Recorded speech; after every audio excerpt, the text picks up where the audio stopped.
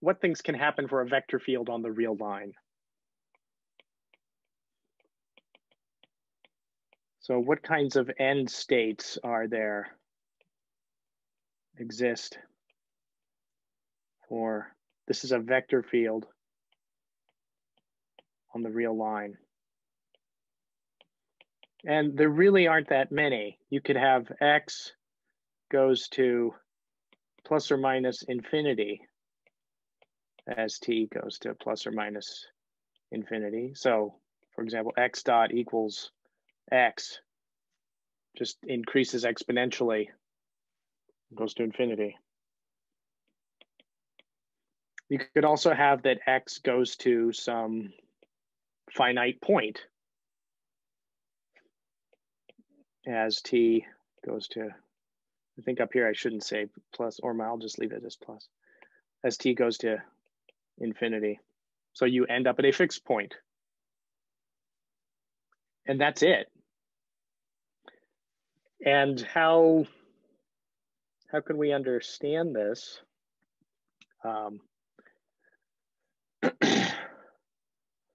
well, I guess there's there's another thing to point out. So we either go to infinity or we go to a fixed point. There's no oscillations or cycles. So you cannot get you cannot get something that looks like uh, this happening. You can't have the state oscillating in X if you just have a one dimensional vector field on the real line. You also will not have, um, this is showing what looks like a, you know, periodically oscillate. You can't have kind of damped oscillations either. So you won't have anything that seems to be kind of zeroing in on a fixed point. You won't have that. So this would be, you know, no, this isn't happening. That's not happening. Not, eh, not for dynamics like this in 1D. And you might say, hold on, I know about the simple harmonic oscillator, and that's just a one dimensional thing and yet that shows a cycle. So what, what am I getting wrong here? Anybody know? Where's the simple harmonic oscillator? It's not 1D, it's 2D or 3 maybe. Yeah, two, it, it's 2D. Yeah, so the simple harmonic oscillator, the simple, it's actually, you know, think of mass times acceleration, it's an x double dot equals some f of x. So it's actually a 2D phase space. So it doesn't fall into this category that we've talked about so far. Um, how can you convince yourself that things only go to infinity or a fixed point? I mean, I think one way to do it is you just sort of plot uh, your favorite curve for x dot or any curve you can imagine that is smooth. So, I mean, I don't know. You've got any curve you can draw, something like that. Um, you've got these points that intersect x dot equals zero. So that's where it's a, fixed point. And if you're the slope is going up, then this will be like moving to the right, and everything here is then going to end up if you're to the left of this right point, you, you just sort of end up there. So that would be one of the end states. All right, so for any curve you could draw, it's just one of these two options. It's gonna happen.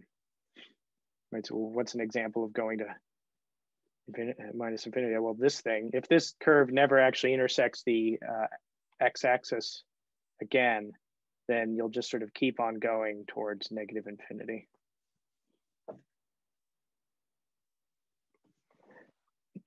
now, it's important that x be part of the real line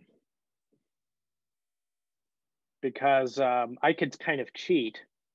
Suppose I, I've got my x dot versus x. And let's just say I have this, you know, always above x dot equals zero. But what if I cheat and I I cut this here and here. I take the x-axis and I glue it together. Right, because this is a vector field that it's always pointing to the right. So if I take these, cut, and glue, then what could I get? I could get, I just sort of bend the x-axis onto itself and I have a vector field pointing in one direction the whole time. And what do you know? I've made a cycle. So this would mean uh, X, this is a, a flow on the circle, which is topologically not the same as the flow on the real line.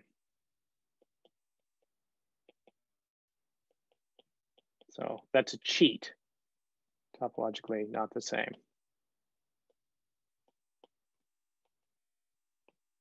And we'll, we'll talk about that possibility later. So if we're dealing with circles rather than the real line, then yes, in 1D, you could get oscillations and it'll exhibit periodic solutions. But we'll talk about that later. There really isn't that much interesting phenomena that happens in 1D flows but that's kind of the point. You kind of can know everything that's possible. Once we get to higher dimensions, other things can happen like cycles and eventually chaos. And it turns out, so you could have cycles when you have 2D, you could have chaos when you have three dimensions. And that's for vector fields. For maps, the situation is very different. You can get chaos with the simplest type of map, but we'll talk about that later.